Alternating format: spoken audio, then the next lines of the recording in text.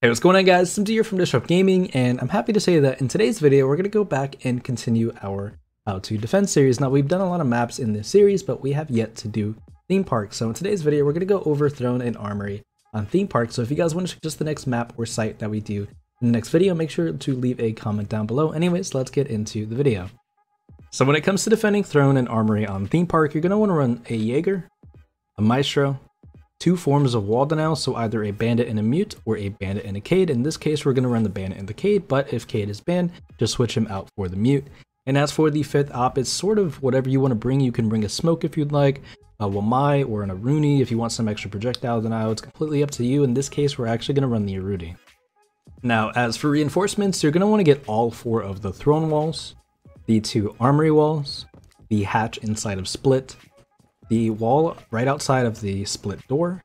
And as for your last two reinforcements, we're going to bring them over to Dragon and reinforce the two bottom Dragon walls. This will just deny an angle that the attackers can get from inside of maintenance through the Dragon wall into the Dragon or Throne door.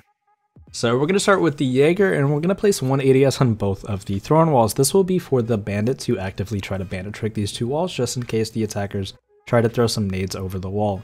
As for your third ADS, we're going to go into split and we're going to place it inside of split.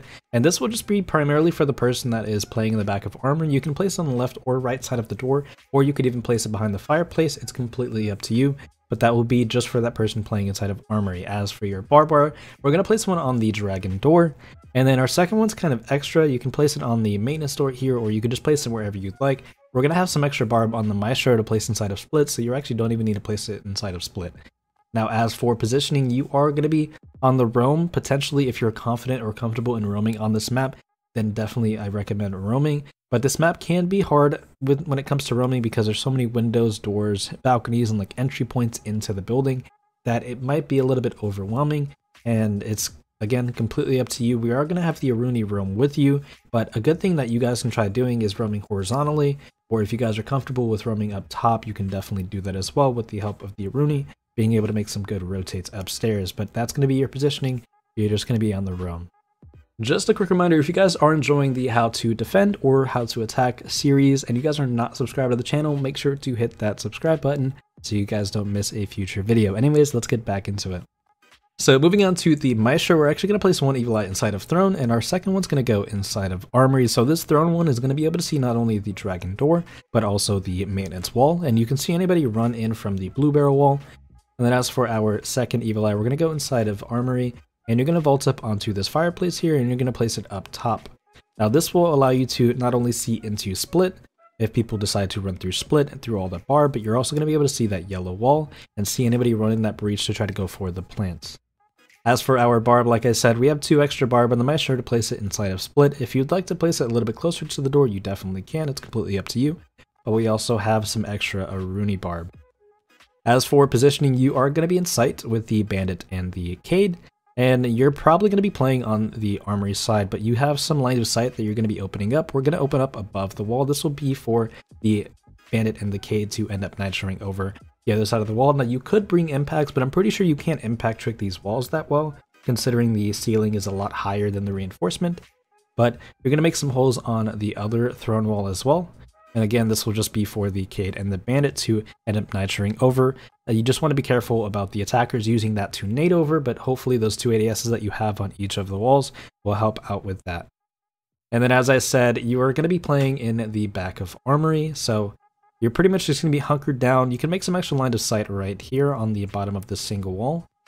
And this will just allow you to get some angles on that dragon door when they decide to run through, or you can even just get a pixel on the door frame if they're outside inside of Dragon. But this is going to be your positioning, and you're just going to hold it down back here with the 81 and let it rip.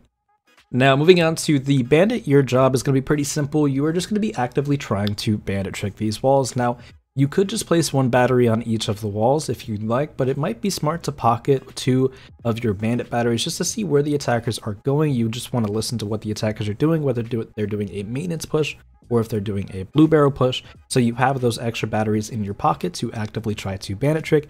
And again, you will have the holes above the breach in order to throw your nitros over. Again, be careful with any nades that may be thrown over the wall, but you do have that ADS, so just keep in mind in case that ADS does get burned.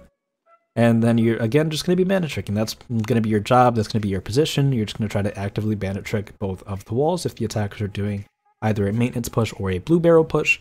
And you don't need to worry about the yellow wall because the Kaid will end up taking care of that yellow wall. But that is pretty much going to be the setup for the bandits.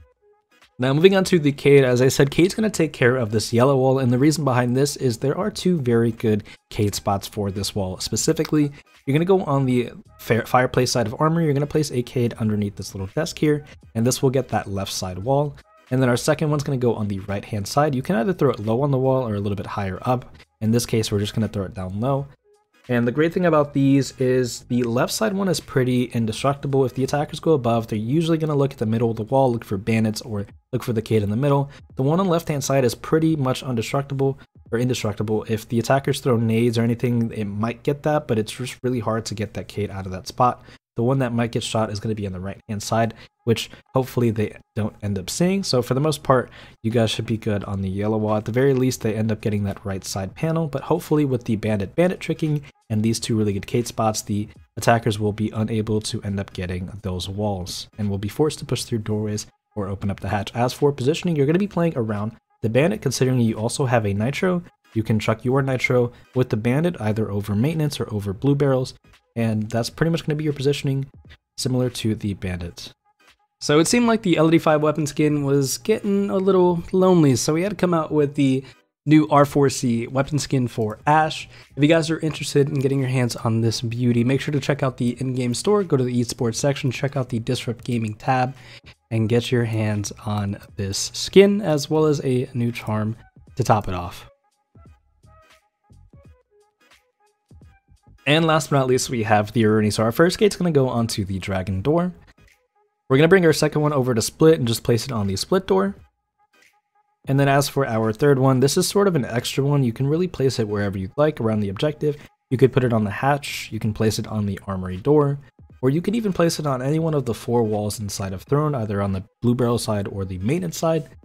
But in this case, we're actually just going to put it on the armory door and considering you have the bandit and the Kaid, hopefully the attackers will be unable to get through the wall, so they're going to be forced to push into doorways like Split, for example. So putting this Aruni Gate there will hopefully help the Maestro playing inside of Armory. Now, as for positioning, as I said before, you're going to be roaming with the Jaeger, and you do have your Fist to help make some extra rotates upstairs, which is pretty solid.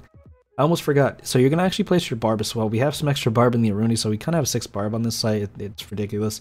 Um, honestly, if you have a spot where you want to place the bar, for example, you know, in front of the maintenance breach, the blue barrel breach, uh, it's completely up to you. If you want to double it up on Dragon Door, you can do that as well. But in this case, I guess we'll just place it inside a split and just add four barb inside a split, honestly. There's, there's almost no reason not to if we have the extra barb. But anyways, back to the positioning. You're going to be on the roam here. And honestly, vertically will be a very good decision when it comes to roaming on this map with the Aruni because you have the ability to make a lot of rotation holes around the top floor so you can make rotation holes into daycare bunk or break room or just pretty much anywhere upstairs. So that is going to be the Aruni. Anyways, guys, that's going to be all from me. Thank you so much for watching. I hope you all enjoyed. If you did so, don't forget to leave a like on the video. And if you guys are new to the channel, consider hitting that subscribe button and notification bell so you guys don't miss a future video. If you guys have any questions on this video, make sure to leave a comment down below. I'll do my best to answer them. But anyways, I will see you in the next video. Peace.